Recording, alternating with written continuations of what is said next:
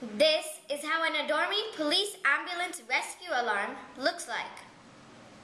After building this circuit, you will learn about Ohm's law, sound and its characteristics, light emitting diode, switches, speakers, magnets, and bipolar transistor as a switch.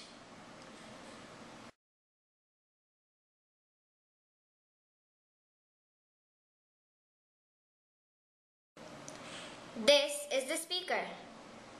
These are the transistors. These are the resistors. These are the capacitors. This is the tactile switch. These are the LEDs. And this is the battery socket.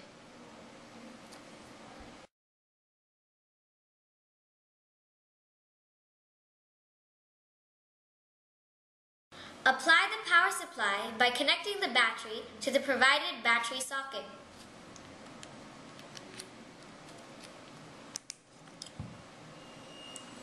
You are now ready to test the circuit.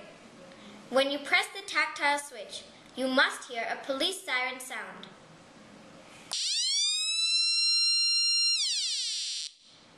The sound is heard as you press the switch.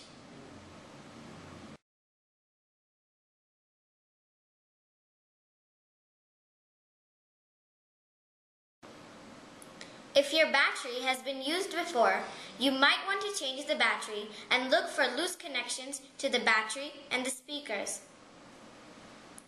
Most of the problems lie in the faulty soldering. Check all the soldering joints.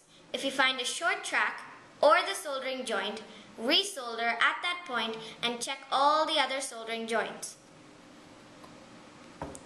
Check the position of all the components on the PCB. Look for missing components or components in the wrong position. Make sure that all the polarized components have been soldered in the right direction. Also, take care of the three terminals of each transistor. If you are new to soldering, we recommend you watch the soldering video and instructions provided in the CD provided with the product.